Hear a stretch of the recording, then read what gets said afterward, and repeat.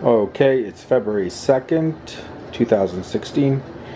This is the variable frequency oscillator circuit. Let's flip on the breadboard here.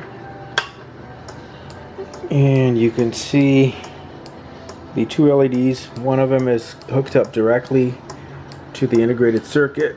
The other one is connected to a set of contacts on this relay right here if I can get my finger in a picture there at this relay. Uh, the circuit's running on 12 volts DC. Uh, let's go here. Oh, 11. Let's crank it up a little bit. So we're right around 12 volts. And um, there's a potentiometer in the circuit that allows the frequency to raise and lower. I'm guessing somewhere between um, 1 hertz to over 1 kilohertz. So anyways, you can see the potentiometer right down. Let's see if I can zoom in on that. Right in there. Whoops. Right there.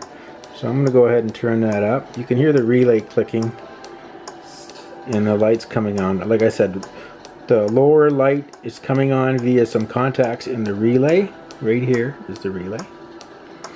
And the upper LED is coming on via the output of the integrated circuit. So we'll go ahead and turn up the potentiometer. Right now it's at the minimum resistance value. Let's slowly go up to the maximum, watch the lights, and listen to the relay. If I can get this screwdriver in there. There we go.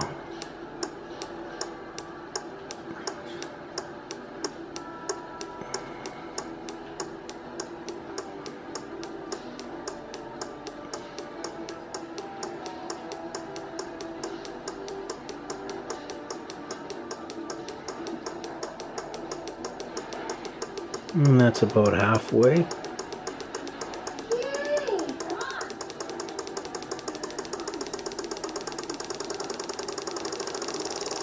And that's all the way swept to the ex other extreme of the uh, potentiometer. And it pretty much saturates the output so it stays on. Now I'm going to dial it back towards minimum. And it will start to slow down again.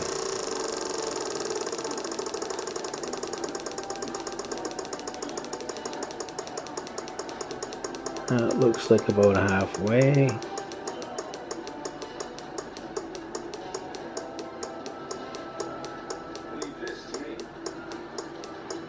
And where?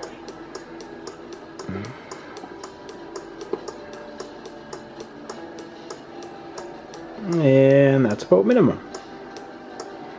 So wind it up one more time. See if I can get a better shot of the uh, potentiometer here. I guess not. Well, we'll watch the lights.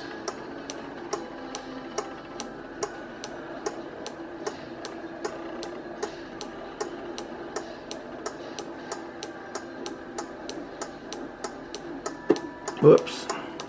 Screwdriver came out of the potentiometer.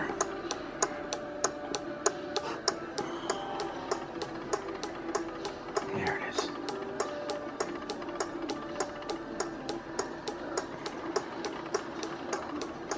Need some better lighting.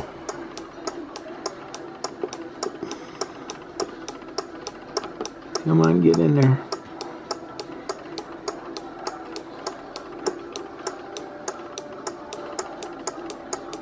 There it goes.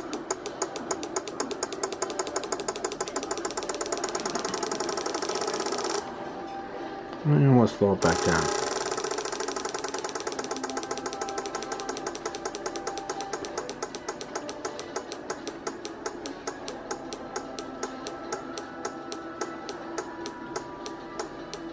So later on I'll be adding some uh, information on how the circuit works and uh, what it can be used for.